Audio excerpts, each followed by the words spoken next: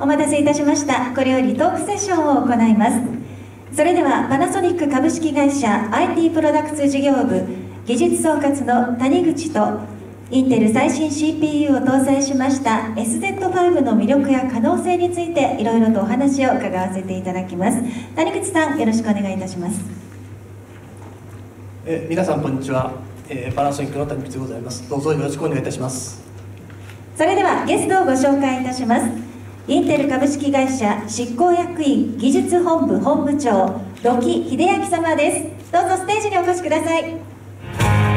改めましてインテル土木様本日はお忙しい中お越しいただきましてどうもありがとうございます。ありがとうございます。よろしくお願いします。どうぞそちらにおかけください。それでは初めにパナソニックとインテル様との開発の歴史について谷口さんお聞かせくださいはい、えーまあ、インテル様とパナソニックとはですね、えー、10年以上にわたるですね長い共同開発の歴史があります、えー、まず最初はですね、えー、2002年に当社が発売しました、えー、レッツノートの R1 これの開発を皮切りにですね以降、えーレえー、インテル様と共同で、えー、徹底的にですね省電力設計の開発をコラボレーションさせていただいております。えー、そうですね。ちょっとちょ今日面白いものっていうかですねその今出ました R1 ですね。これ実はあのこれ私個人のものなんですけども、えー、当時あのすごいですね、えー、購入したあの購入特典でですねここにバッジがついてましてありましたね。ね、はいはい、あの好きな文字を刻んでいただけるとなぜかバニスター MX 大バニスターわかりますかね皆さん。わかりませんね。えチップセットのコードネームですね。えあの非常にあの谷口さんたちとですねこれを作るのにものすごく頑張りましたので、ね、その記念としてちょっとこれを買わせていただきながらバッジにも名前を入れさせていただいたということになりますはい、本日も定期的にみたいな。い？や、とんでもないです。えあの、非常によくできてますよね。もう、ほら、皆さん見ていただいて分かる通り、すごく綺麗でしょ？すごく綺麗に使われてますね。えー、あの、それで頑丈ですので、今でもちゃんと動いております。はい。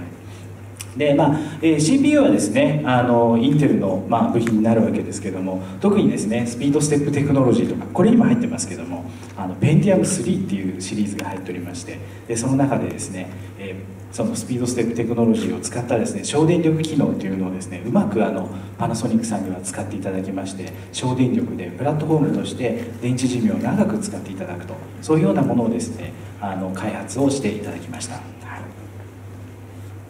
まああの当時はですねやっぱり他社と、まあ、同じような設計ではですねやはりお客様が求められているですねバッテリー駆動時間っていうのを、まあ、実現することはできませんでしたんで、まあ、当時ですね、えーまあ、周辺回路の設計を、まあ、一から見直しましてえーまあ、当社独自の省電力設計を加えていったわけなんですけれどもやはりあの周辺機器だけの、えー、回路の見直しだけではなかなか、えー、省電力化にも限界がありましたので、えー、当時インテル様、まあ、時に独さん含めてですねインテル様にですね非常にあのお願いしまして、えー、CPU の省電力化をやっていただきました。あそうだったんですねでは土木様 CPU のその省電力化についてお聞かせください。そうですね。その CPU の省電力化っていうのはまあいろいろありますけども使わない時にまあ電力をどう下げるかというようなところで先ほどのスピードステップなんかもそうなんですけども、えー、それだけではなくてですね、えーと、プラットフォーム全体で電力をどうセーブするかと。パナソニックさんものすごくそこの技術的な知見が高いんですね。で実はその CPU はインテル得意なんですけど CPU 以外の部分でどのようにその省電力化をするかというようなところがあの議論になっておりました。でその中で、えーと、特にですねあの最近っていうかですね我々のテクノロジーでいうとダイナミックパワーサーマルフレームワークっていうそのテクノロジーがあるんですけども具体的には CPU のみならずですね CPU 以外のメモリーだったり周辺機器の IO だったりですねプラットフォーム全体でですね省電力あとサーマルのコントロールですね。先ほどの R1 なんかはですね実はファンがついてないんですね。ですのであのパナソニックさんはですね非常に筐体設計でものすごく技術的に高いものをお持ちだということでインテルはその部分もあの一緒にですねあのプラットフォームとして最適化するのにどうしたらいいかというところでこういったあのダイナミックパワーサーマルフレームワークのようなテクノロジーをですね後に開発することができました、まあ、これもあの一重にパナソニックさんのおかげではないかというふうに思っております。ありがとうございます。ありがとうございます。えでは次に本日発表のレッツノート SZ5 に搭載されています。第6世代インテルコアプロセッサーの省電力とメリットについて谷口さんお聞かせください。はい、えー、本日発表の、えー、新レッツノートに搭載されました第6世代のインテル様の、えコアプロセッサーはですね、え開発コードでスカイレイクと言われて、えよく知られた、え最新型の CPU でございます、えこの CPU の特徴はですね土木さんどういう感じですかねこれは？そうですね、えー、一言で言うと今史上最強のプロセッサーということになるんですけど。史上最強ですか、はい。えー、これマイマイジェネレーション私は言っておりますけど、えーまあ、今回のやつは特徴を一言で言うとですね、えー、14ナノメーターのプロセスを使いました。チックトックでいうとトックの方なんですね。要するにプロセスの特徴を生かした、え、最もアーキテクチャを進めたものということになります。えーと、その中で分かりやすく特徴を言いますと省電力の部分の強化とあとグラフィックスですね。こちらの方がですねあの強化されております。えー、ちなみにあの資料を先ほど見せてもらったんですけどレッツノートさんで言いますと、えー、第5世代一つ前のやつですね。コードネームで言うと,、えーと、ブロードウェルっていうやつなんですがブロードウェルとスカイレイク。すいません。コードネームは名前気にしないでくださいね、え、第5世代と第6世代比べまして MX4 ですね。あと MX5 え、こちらを比べますと11時間と12時間。1時間電池寿命が伸びてるんですね。それからですね RZ4 ですね。これ私も使わせていただいておりますが、え、今回出ました RZ5、え、なんとですね10時間が11.5時間で1.5時間も伸びているというふうになっております。省電力の方は非常に頑張ったという CPU です。あのあの 私から付け加えますと、まあ、先ほどあの弊社の坂田の方がですね申し上げました通り、まあ、前のモデルではですね、えー、4セルを搭載した S バッテリーで約9.5時間の電池駆動時間を実現しておったんですけれども、えー、今回発表させていただきました新しい新レッツノート SZ5 では同じ4セルのバッテリーのが搭載した S バッテリーで約14.5時間そしてなんとですね6セルの L バッテリーでは21時間というですね非常に駆動時間が大幅に伸びております。えさらにですね、えー、前のモデルでは、L バッテリーを装着するとバッテリーの後ろが出っ張ってたんですけれども、え今回は出っ張りなくすごい、え非常にスマートになりまして、えスマートかつ十分な、え長時間バッテリー駆動を実現することができております。なるほど。さらなる進化をしているというわけですね。では続いて第6世代インテルコアプロセッサーのグラフィック性能とメリットについて土木様お聞かせください、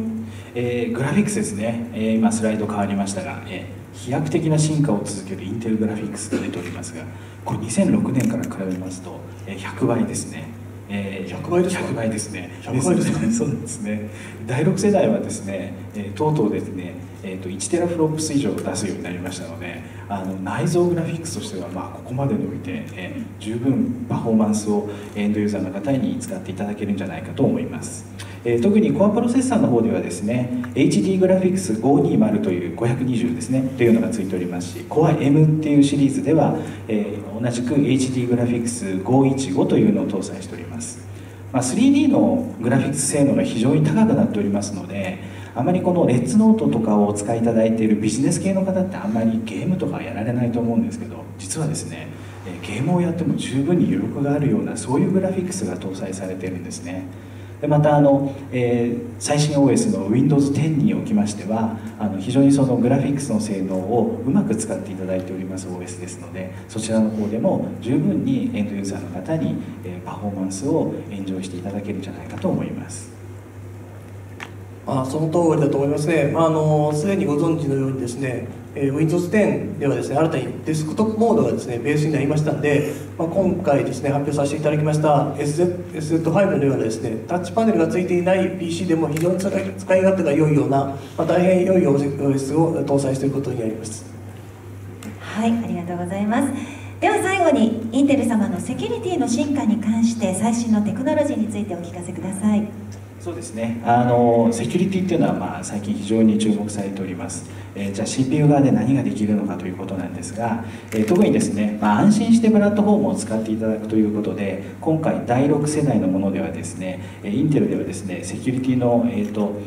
instruction set の方ですね拡張しております。一つは SGX と言ってましてインテル Software Guard Extension。それとですねあとインテルの Memory Protection Extension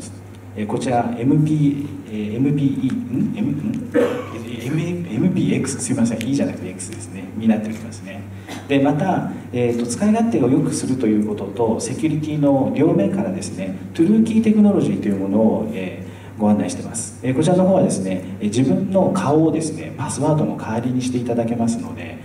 あのいちいちですねパスワード入力をしなくてもですね、えパソコンの方が、え皆さんのユーザーの方を認識してそれで中にログインすることができると、え非常にセキュアなテクノロジーです。えまたさらにですね、えーと、使い勝手の部分で言いますと、えー、接続性で非常にあの皆さんに、えーと、役に立つんじゃないかなと思うのが、えー、プロ、えー、ワイヤレスディスプレイテクノロジーですね、えー、こちらは w i f i のテクノロジーを使いまして、えー、画面の情報をですねプロジェクターに出す場合に通常ケーブルでつなぐわけなんですけどもケーブルでつなぎますと、そのケーブルがあったりなかったりあるいは、えーと IO の種類がですねたくさんあるんですね。でそちらの方が、えーと、まずワイヤレスですと解決します。またコネクタそのものが壊れてたりすることがあるんですね。でそういった部分もですねワイヤレステクノロジーを使いますと非常に、えーと、スムーズにつなぐことができます。特にパナソニックさんはプロジェクターの方もこのプロワイヤレスディスプレイテクノロジーを搭載していただいておりますのでパソコンとプロジェクターのマッチング非常にいいということですね。でそして最後にですねちょっといっぱい喋ってますけど、はい。えーと、インテル D プロテクノロジーですね、え、こちらの方もですね、え、パナソニックさんにはよく使っていただいておりまして PC の運用管理とかですねセキュリティ、えー、その辺のですねさらなる強化をですねパナソニックさんの方にプラットフォームの上で実現していただいておりますので、え、今後ともですね、え、そちらの方も、え、使っていただければと思います。あのその通りです。あのパナソニックとしましても、えー、法人モデルにおきましては、えー、よりセキュリティを強化するために、まあ、インテル様の V プロテクノロジーを搭載しております、えー、今回発表しました、えー、新レッツノート SZ シリーズの、えー、法人向け V プロテクノロジー搭載モデルは、えー、来春来春ですねをの発売を予定しておりましてもうすでにですね、えー、法人の、えー、皆様からですねかなり大きく期待されているものになっております。あのこのようにですね、えー、インテル様の最新の CPU とそれからパナソニックの技術が融合しまして、えー、誕生した、えー、本日発表の新レッツノートはですねビジネスモバイル PC として素晴らしい仕上がりになっていると思っております。どうか皆さんよろしくお願いいたします。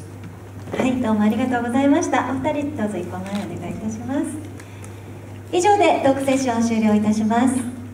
えー、インテルドキさん、えー、本日お越しいただきまして誠にありがとうございました。ありがとうございました。時様そして谷口さんありがとうございました。ご講談ください